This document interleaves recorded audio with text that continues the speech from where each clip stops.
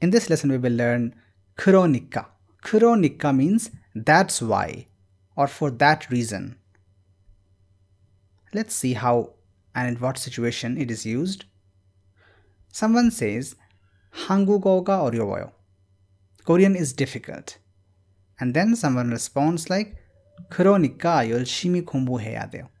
That is why you should study hard Because Korean is difficult. 한국어가 어려우니까 열심히 공부해야 돼요.